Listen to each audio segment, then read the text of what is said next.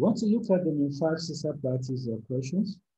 Let's look at question one. The major risk with the use of halon as a fire suppression agent is A, environmental degradation, B, asphyxiation, C, explosion tendency, D, inert nature. Okay, if you are familiar with halon gas, you will know that uh, it was, the halon chemical was actually banned uh, as a suppression agent because of its impact on the causes ozone layer uh, depletion. That's why it was banned. So the answer is A, environmental degradation. Okay, question two. Protection of information assets should begin with A, inventory of information assets, B, classification of information assets, C, approval of information security policies, D, appointment of chief information security officer. So when we look at all the options, okay, uh, inventory information asset is very, very important. For you to protect an asset, you need to know that that asset is existing. But we have to have a framework that will guide everything we're going to be doing, whether we're going to have inventory of asset, we're going to have classification, we're going to appoint a CISO. All these should be drawn from the information security policy, which will be approved by the board of directors. So the first way to start is first to have an approved policy in place. Let's look at question three. Which of the following biometric devices is most effective? Biometric devices with A, high false acceptance rate, B, low false acceptance rate, C, low equal error rate, low false rejection rate. Now, you have to be familiar with biometrics or performance metrics to be able to answer this question. So what does false acceptance rate mean? It means the biometric device can accept uh, people that are not supposed to be accepted, that is people that are not enrolled in the biometric code. And that's a big problem. Okay, then, uh, so if it is I, it's a problem. Uh, then uh, low false acceptance rate, that should be a plus. Okay, it should be a plus. So that means the exceptions are not, are not needed. Okay, the false rejection rate, false rejection rate is somebody that is enrolled in the biometric table, the system is rejecting him So if it is low, it's also good. But the best is equal error rate, the point at which false acceptance rate equals false rejection rate. So the, the more the lower it is, the better the biometric device. So our answer here is C. Let's look at question four. Which of the following could be launched via physical means? Man in the middle attack, dumpster diving, salami technique, botnet. Now, if you look at a man in the middle attack, is somebody can stay between the sender and the receiver, collecting the message, using passing to the receiver. Now, that is a very, very technical uh, attack. Okay, uh, salami technique is a programming attack used to take fractions of balances. Okay, the botnet is denial of service using multiple compromised systems. So that leaves them diving. Dumpster diving can be done logically. All right, for example, you can go to uh, you can go to the, the to, to check the. Okay, deleted files and see whether you can restore them. Okay, go to recycle bin and you can restore, or you can even view what have been you know, deleted. But there is also a physical form whereby you can go to recycle basket. You don't have sugar machines. You go to recycle basket and uh, pick information and you have access to classified information if they do not have good data management and policies in place. So the answer here is B, dumpster diving. Five, digital signatures can be used to achieve A, non-repudiation and integrity, B, integrity and, confidentiality, C, confidentiality and availability, D, authentication and confidentiality. So digital signatures basically are used to achieve integrity, authentication, and non-repudiation. So it is widely used in email systems. So that leaves us with A, okay? Non-repudiation and integrity. So the third one is the authentication. So A is our answer here. BCD uh, is not correct. Question six, orderly delivery of packets can best be achieved with A, transmission control protocol, B, user data protocol, C, file transfer protocol, D, hypertext transfer protocol. How do you achieve? So this is testing your code, testing your knowledge of the OSI layers, seven layers, the protocols, okay? So you want to uh, ensure orderly transmission of packets to UTCP, transmission control protocol, that is at the transport layer. User data Gram protocol is also at the transport layer, but it does not ensure uh, orderly delivery because it doesn't do error checking. Okay, uh, file transfer protocol is used to download. Uh, HTTP is basically the protocol of the internet. Okay, using complicated. So the best answer here is A. TCP is used to ensure orderly delivery of packets. Uh, question seven, which of the following will have the greatest protection against electromagnetic interference? A, unshielded twisted pair, B, coaxial cable, C, optical fiber, D, Cat5 cable, all right? So, uh, greatest protection, unshielded twisted pair uh, is the normal uh, network cable we use in the offices. Coaxial cable uh, is also the black thick cable you, you see in uh, all these uh, uh, connections of your television to your pay pay-per-view, like DSTV. That black thick wire, that's what we call uh, coaxial cable. Optical fiber is the fiber they use for long distance connections. When you see them, you know, laying cables on the road, long distance telecommunications. Okay, Cat5 cable is simply a type of distributed cable we call it category five. Okay, so A, B, D, right, are exposed to EMI, right, exposed to electromagnetic interference. The highest, the, the cable that has the highest defense against EMI is actually optical fiber. Okay, the best answer is C. Optical fiber is not uh, uh, it's not easily capable, not done easily tap into it, right? And it also has a lot of uh, high defense against uh, EMI interference, electromagnetic interference. Okay, so answer here is C. Eight, the open system interconnection model was developed primarily to ensure A, integrity, B, portability, C, availability, D, auditability. Now, so the OSI model was developed to ensure that uh, network devices can, can talk, you know, can, they can, they can you know, be portable, they can have environmental independence, they can be used across you know, um, proprietary manufacturers. So before network devices made by manufacturer A can connect with network devices being manufacturer B until OSI model came and simplified it. All of them are using the same standard. So you now have interoperability. Interoperability is, is, is, is, uh, is, is uh, similar, it's linkable to portability, it's linkable to environmental independence. So the best answer here is B, portability or environmental independence or interoperability. All right, question nine. In a digital envelope, the encryption key is A, shorting to improve processing speed, uh, B, lengthening to improve key security, C, encrypted with the receiver's public key, D, encrypted with the receiver's private key. Now, you need to know what digital envelope is. Digital envelope is simply, you know, you use private key cryptography to encrypt the message. Then the session key is now encrypted using public key cryptography. So I think I've already answered that. So our option is uh, between C and D.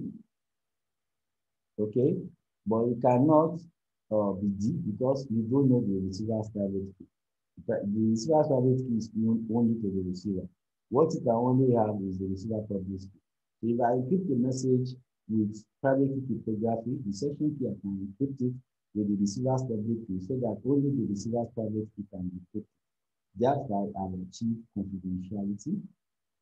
of the encryption key and I've also ensured that the encryption process will be very fast since encrypting private key cryptography is fast. The challenge is the key distribution. If I use digital envelope, I've solved that challenge.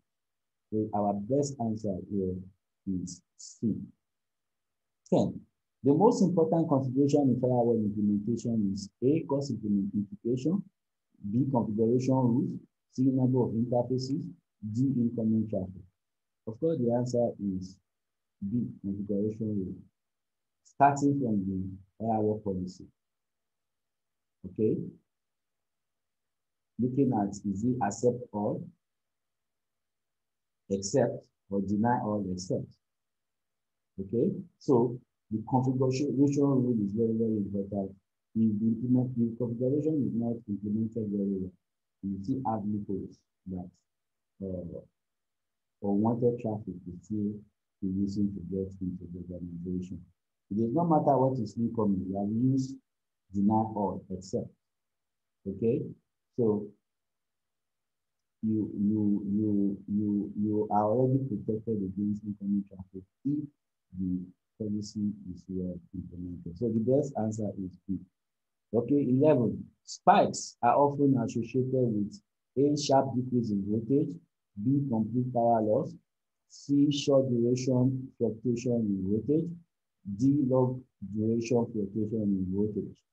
Okay, so we have uh, we have surge we have spikes, we have uh, we have uh, surge. So surge is when there is increase in voltage and that is sustained for some time. Okay, spikes is when you have increase in voltage, but it's just for a little duration. So timing is what differentiates spikes from surges. Okay, so A does not mention anything about timing, so we can't go for A. Okay, so the best answer for us is, is to pick one. C. Okay, short duration fluctuation. So actually that fluctuation is increase. Okay, short uh, duration increase in voltage. Okay, if it is a sag, then that means there will be decrease in voltage. Okay, for a little period. So for a spike, there is an increase in voltage, there is a short duration increase. So the answer is um, C. 12. Patch management should be performed by A, asset owners, B, asset custodians, C, end users, D, senior management. Of course, asset patch management is technical, so that will rule out asset owners, that will rule out end users, that will rule out senior management. So it has to be the IT guys the asset custodians? The answer is B.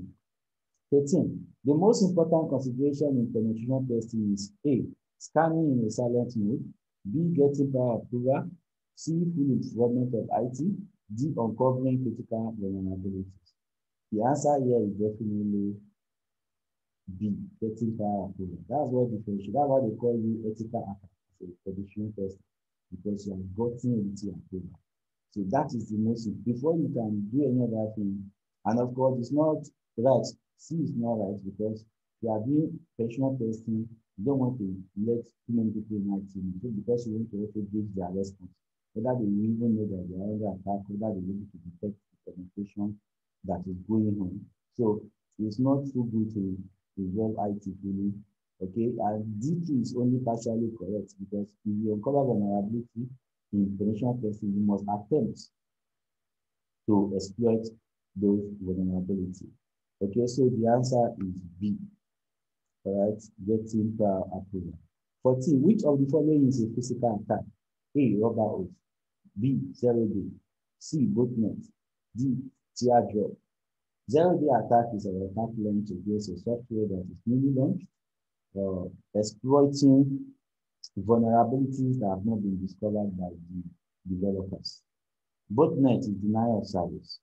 Okay, teardrop is also denial of service. When you launch an attack against a node using uh, using packets that you know uh, have every size.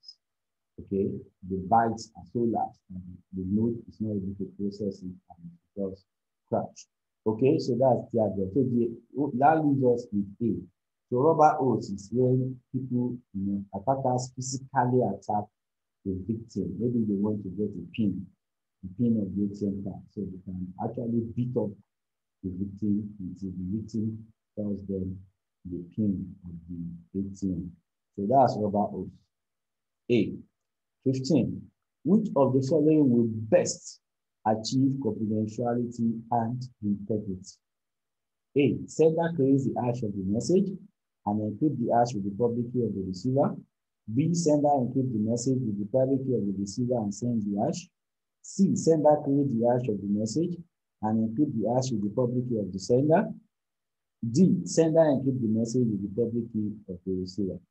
So look at A, sender create the hash of the message, that is the address integrity. Then he encrypt the hash with the public key of the receiver. That's confidentiality. Because when you encrypt the public key of the receiver, only the private key of the receiver can be encrypted, and the private key of the receiver is known only to the receiver. So actually A is the answer. But let's look at the other option. B. Sender encrypt the message with the private key of the receiver.